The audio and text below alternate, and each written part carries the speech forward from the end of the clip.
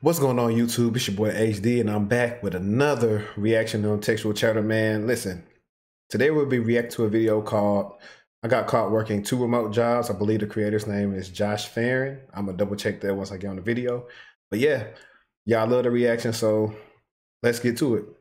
But before we get to it, make sure you hit the like button for the YouTube algorithm, please. And if you do choose to subscribe, you like my content, hit the bell icon and make sure you select all to be notified when I'm dropping new videos. But without further ado, let's get to the video.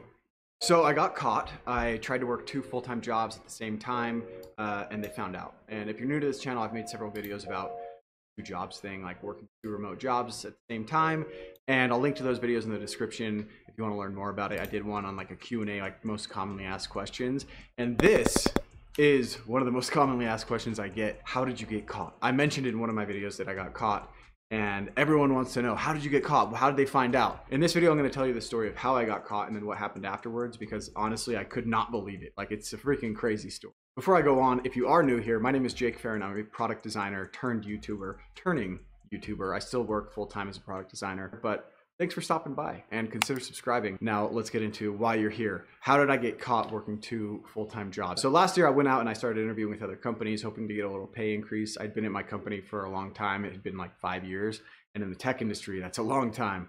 Uh, people usually bounce around like every two years. So at this point, as I'm interviewing with other companies, the idea of working two jobs at the same time had not even entered my mind. I didn't even know that was something that people were doing or that it that it was possible. So I got an offer from, from one of these companies, and as I was like trying to figure out how I'm going to break the news to my current company that I was going to be leaving, I had the idea of like, wait a second, what if I just don't tell them? Like I'm fully remote. I just work from home. I'm not that busy, and I'm at a point in my life where I want to make more money. I want to be busier. So that's what I did. I just didn't say anything. I- hey, look, and we know since 2020, this has been a big thing happening right now. Like, look, I agree. I feel his whole sentiment. This was me. For y'all that don't know, I did work two jobs at the same time briefly last year. I, I did it briefly last year. Um, and so it's the same thing. It's kind of like, dang, how do you, you've been somewhere for a while. How do you tell him about that? Because it, it wasn't like, and I think here's the key, and I don't know what he's going to say. Most of the time, if it's probably the same level of job, and you know you have minimal work to do. Well not minimal but just you can maintain it i think it's okay. I don't think people you know are quitting to do the same level. It's like what's the point? I did, did all this here and i get you know this team is more flexible with me. Why you know go do that? So that's a little bit of uh, how that goes into it but i'm interested in to see you know how he got caught because i know people who's been doing it for a while and companies don't know or care. Now i do know in some industries you're supposed to not do it because you could be technically um, doing an NDA or just in trouble. But at the same time, the way I feel about it is like, you know, y'all take on a lot of clients, more responsibilities, but don't give me a pay bump for making me work multiple clients. Why can't I do the same for myself? So keep watching. I went through the onboarding at this second company, uh, kind of got on my merry way. Things were going great. No one seems to know that I haven't quit my first job. And I'm like super paranoid this entire time that I'm going to get found out. I thought for sure if I get found out, I'm getting fired immediately. Like obviously, immediate termination. So about three weeks in, I get a message from one of my bosses. that says, "Hey Jake, do you have a minute?" I'm freaking out. Like I'm thinking it's over. I am gonna lose my job, probably both jobs. So I hop on a Zoom call with him, trying to keep my cool. And sure enough, right off the bat, "Hey, I heard about blank company. Is this true?" My face goes red my lip starts twitching. So let's go back and let me explain how they found out. So back when I was interviewing for these different jobs, I was pretty deep in the process with a couple of them when one of my friends came to me and said, Hey, would you be interested in working with me at my company? He and his boss actually used to work with me at my current company, but I told him I'm pretty deep in the process, but I'll keep him posted. I'm probably not interested. So I ended up getting an offer, like I explained, and then I went to him and I said, Hey, I got an offer for one of these companies that I'm going to take. At this point, the two jobs thing still hadn't entered my mind. Like I, I didn't know that I was going to be doing both jobs. So then he goes to his boss and tells him, "Hey, Jake accepted an offer. He's not going to be interviewing with us." His boss then went to my current boss. You know, they're friends. We all used to work together, and said, "Hey, I heard Jake is leaving. That, that sucks. Bad." Well, this was news to my boss. Hey, hang on, man. Now, that's what you call like dry snitching right there. Like, bro, that have nothing to do with Buddy. You can't get mad. You know, he went and got an offer somewhere else, and so now he decides to call this man's boss and tell him, like, "Come on, bro." Like, What? I might put that right there because I'm just like, I don't get it. Like that don't make no sense to me. Uh, you know why he would do that, but um, it's just pretty interesting. So let's, let's go back into the video. Boss, because I hadn't told him about the whole two jobs thing. I hadn't told him I was going to leave or that I accepted an offer somewhere else. So that brings me back to my red twitching face with me, kind of a lot. So I thought I was done.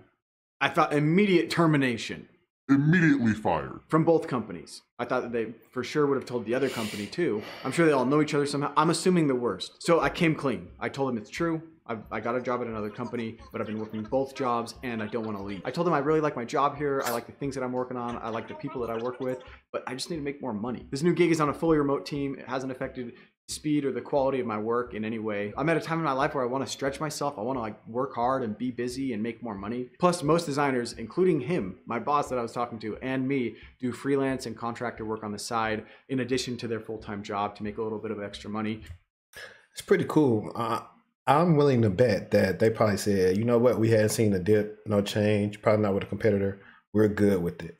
I'm willing to bet that they said that. Um, curious to see. You know, I know you guys want to know uh, what they said, so let's find out. So what I was doing was basically like a better version of that, like a more consistent version where I'm getting a paycheck every two weeks and have consistent work uh, rather than like, you know, one off freelance jobs. So I said all that stuff and then I braced myself. And what he said surprised me. It was shocking to me. He said, Man, I'm just glad to hear that we're not losing you. I couldn't believe it.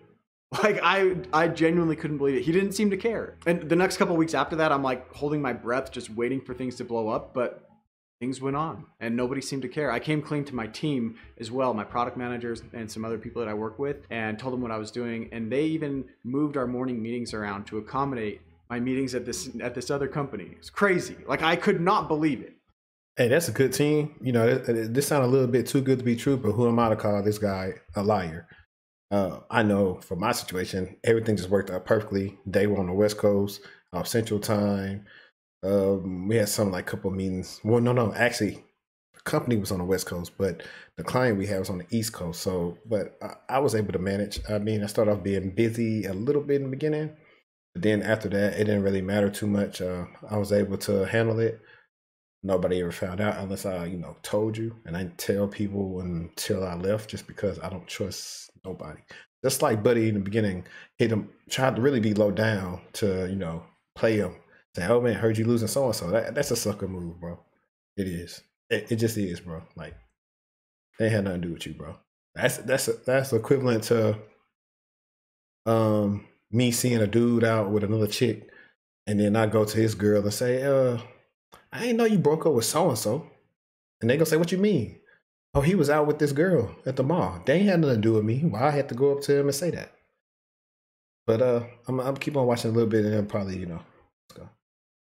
It couldn't have been. It was like the opposite of what I thought would happen. So the whole experience just made me think about fear. It made me think about like the stories that we tell ourselves. A lot of times we tell ourselves the worst case scenario, or we have these thoughts, these fears that just that hold us back, and it affects the way that we live. It affects the decisions we make and the things that the way that we're interacting with the world. Like we create all these crazy narratives of like, oh no, this person said this thing, which means that they think this about me, which means this is going to happen, but it's not true. Like it's it's not the real world. It's not what's actually happening. The whole time I'm thinking it's probably so obvious that I'm working two jobs and they're all talking about me and oh they know they talk to each other. They like creating all these stories and none of it was true. Or maybe it was true but it didn't matter. I ended up working the two jobs for 8 months and I was paranoid pretty much the entire time that they would find out and I would get fired. At the end of the 8 months, it was actually at the beginning of 2022 in January I thought I'm done. I'd had enough of the two jobs. I was too busy and I quit one of the jobs. And Yeah, we're gonna probably stop it right there. Um, but I mean, honestly, I know people that never got caught and their work is like they probably don't even work 40 hours a week total with two two jobs. They probably like 20, 25. So um, hats off to him. This was a good story. I'll make sure I link his stuff in the description.